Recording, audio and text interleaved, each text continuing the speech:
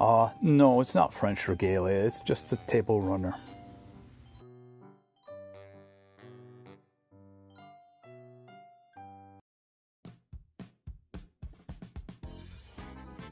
Welcome, I'm Hawaiian Shirt Pappa. Sometimes with others, I visit a variety of antique, vintage, and thrift shops within southern Ontario. Sometimes we don't get anything. Come tour with me vicariously. Hello, and welcome to another tour by Hawaiian Shirt Pappa. This time it's the National Thrift. This location's at Victoria Park in Lawrence. So, we enter in, and they've got most of the hard goods right up front. And they have some items on special. This is a, uh, a, a, a newer chain, and generally in the Toronto area, as far as I know. They've got three stores, according to their website. I know of two, and uh, they've got some really nice items here. The usual cables, other electronics that you can see speakers and audio audio equipment of other sorts. A whole section of books that starts from here, goes around the curve, the corner of the of the building, or the room, I should say, in this case. An interesting plaza. There's a bunch of construction just outside the door. They're adding our mobility ramps. Uh, there's a brand new Starbucks across the parking lot from here. And the other end of the mall has the uh, No Frills. So here's all the rest of the hard goods. That is an interesting piece of uh, rosy purple glass. And we are looking for our usual Hawaiian shirts. There's some candidates, but uh, they're more demure. These would be more like Hawaiian business attire. Keep looking around just in case sometimes they place these things in a different location in the store.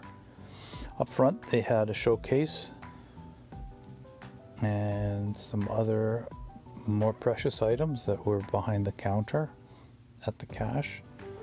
And here we are continuing back on in the uh, shirts.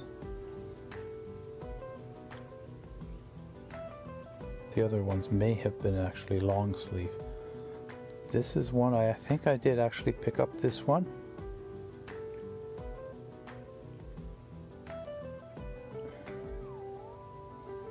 I think there was another one I ended up picking up as well.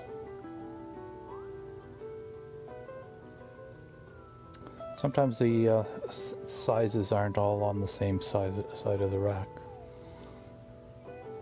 Ah, yes, that was the other one. I do believe I picked up both of them. The blue one actually goes with a pair of uh, summer Hawaiian themed swim trunk shorts.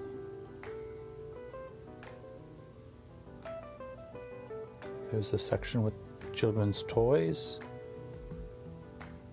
I must say, this is actually uh, very nicely laid out. It's not overly packed uh, as far as materials, uh, items for sale, uh, fabrics.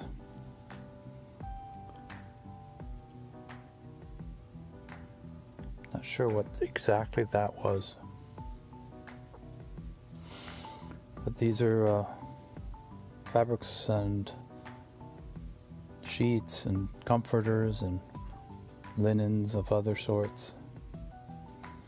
The old trains, I've seen that. Uh, I think I saw it at a fabric store at one time in the past. I don't know if it's truly vintage or not. They may have been reproducing it a number of times since then.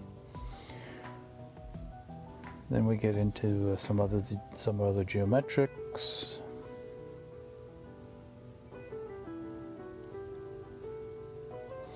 Just as a there's our uh, table runner. As a general bit of information. These folks may accept donations here, but they don't process the donations here. They're processed off site and then distributed among the stores that they have in their system. The other one I've been at is at Lawrence, uh, south of, um, on Keele, south of Lawrence. I hadn't seen one before that one. The, this one was new to me. Although I haven't given you a tour of that other location yet. Nice sheet. All the newspaper article kind of things.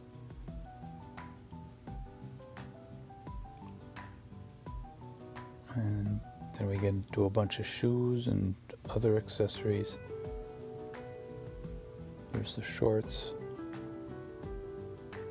Other fashion accessories along here.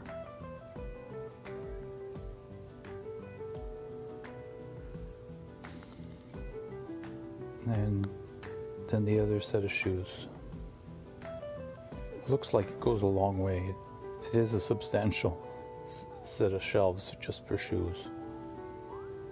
I have to give them kudos on how they display them. They display them in the flat mode, not sloped as much as some of the others.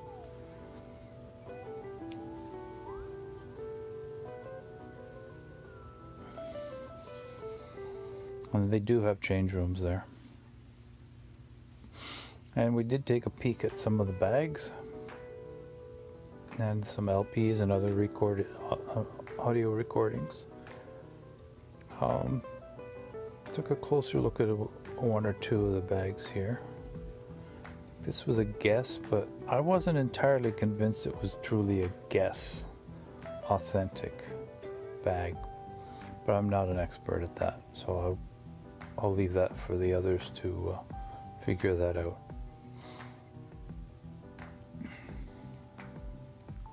I don't remember if it had any condition issues. It may have, so it didn't uh, take me any further than that then.